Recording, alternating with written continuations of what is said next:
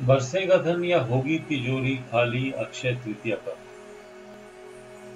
ये बात मैं आपको इसलिए कह रहा हूँ क्योंकि पिछले कुछ समय से मैंने ये ऑब्ज़र्व किया है कि हम हर तीज त्योहार पर्व पर कुछ विशेष बातों से रूबरू हो रहे हैं। संदिग्ध पर्व हमारे सामने ज़्यादा आ रहे हैं। दो रक्षाबंधन, दो दिवाली, दो दशहरा, दो भैया दूज, आज मनाएँ, कल मनाएँ, कैसे करें, कैसे ना करें। ये समस्या हमारे लिए इसलिए सामने आती है क्योंकि हमारे पास पंचांग को हर शहर में के लैटिट्यूड या लॉन्गिट्यूड के हिसाब से देखने की सुविधा नहीं होती। पंजाब, पंचांग एक रेडीमेड तरीके से बन जाता है और सभी पंडित उसको देखकर उसकी व्याख्या करते हैं। ज्योतिषियों द्वारा ये गणनाएँ नहीं हो रही हैं। एक खास लेटीट्यूड या लॉन्गिट्यूड पे तो परिवारों में पर्व को लेकर, त्योहार को लेकर, तिथि को लेकर, सूर्य उदय तिथि को लेकर, अस्त तिथि को लेकर बहुत सारी भ्रामक बातें हमारे सामने आती हैं। और फिर, ये तो एक पक्ष है, दूसरा पक्ष ये है कि हम किसी भी पर्व को उसकी एक बहुत ब्रॉड, बड़ी रूपरेखा से जानते हैं या उसी का अनुसरण करते हैं। देवउठनी एकादशी शुभ है, अक्षय तृतीया शुभ है, दीपावली के मुहूर्त अच्छे होते हैं। मैं कहना चाहता हूँ कि ये एक पक्ष है, लेकिन हमें अन्य पक्षों का भी ध्यान रखना चाहिए।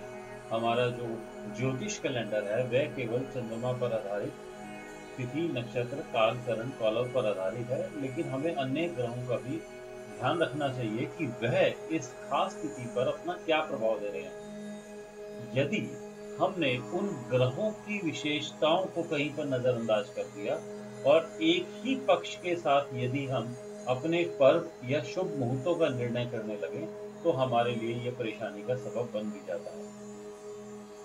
ऐसा ही कुछ हो रहा है इस अक्षय तृतीया पर।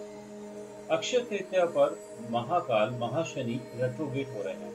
ये लगभग स्तंभी अवस्था में है और यहाँ से वक्रत्व की स्थिति को प्राप्त कर रहे हैं। अब आप खुद सोचिए कि यदि आप कोई ऐसा मुहूर्त निकालें जिसके अंदर कर्मकार का शनि वक्रत्व के अंदर हो तो क्या किया गया? कोई भी कार्य उद्यम सफल होगा?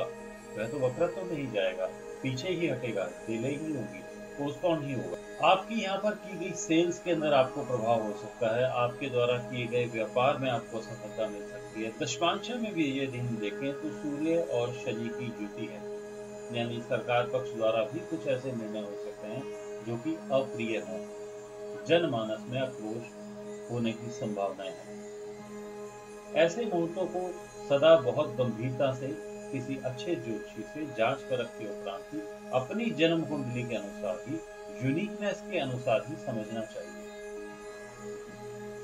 आइए आपकी को सरल तरीके से बताने के लिए मैं आपको सभी राशियों के लिए क्या ना करें ये बताता हूँ। आपने ये सुना है कि अक्षय तृतीया पर शुभ करें, सेल्स करें, नए व्यापार की परियोजनाएँ करें, घरों की मुहूर्त करें इन्वेस्टमेंट्स करें, हर नए शुभ कार्य को प्रारंभ करें। लेकिन आज मैं आपको कहना चाहता हूँ कि इस अक्षय तृतीया पर आपको किस राशि को क्या नहीं करना चाहिए ताकि उसके किए गए उस कार्य में कोई विलंब या वापसी या लैग जैसी स्थिति ना बने।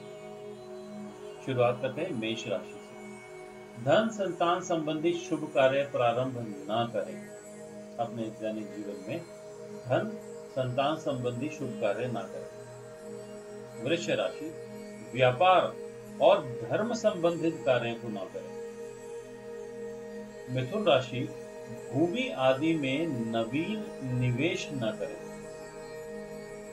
कर्क राशि, नए व्यवसाय या पार्टनरशिप का प्रारंभ न करें।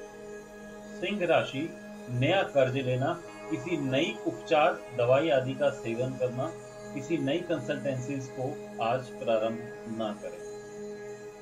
कन्या राशि नई प्रकार की किसी शिक्षा या यात्रा को ना अंजाम दें। तुला राशि, कोई भी लेखन कार्य, अनुबंध कार्य या कोई भी एसोसिएशन ना करें। छोटी दूरी की यात्राओं को भी आप अवॉइड कीजिए। वृश्चिक राशि, किसी भी प्रकार से आपके द्वारा की गई आज सेल्स या ट्रैवलिंग आपको विलंब या वापसी की ओर ले जा सकती है।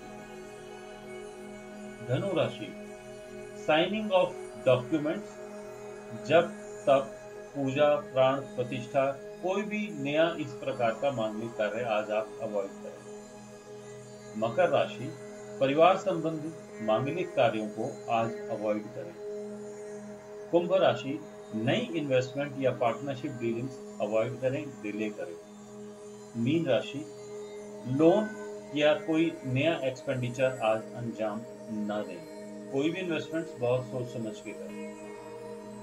ये छोटी सी बात आज आपके सम्मुख मुझे इसलिए रखनी पड़ी क्योंकि अक्सर हम लोग बने बनाए रेडीमेड मुहूर्तों पर बहुत विशेष ध्यान देते हैं और बिना किसी जानकारी के उन मुहूर्तों को शुभ मानकर जीवन में आगे बढ़ जाते हैं। मुहूर्त तिथि अनुसार तो होता ही है, लेकिन मुहूर्त होता है आपकी अपनी व्यक्तिगत जन्म कुंडली के अनुसार। आपके अपने व्यक्तिगत कार्य विशेष के अनुसार।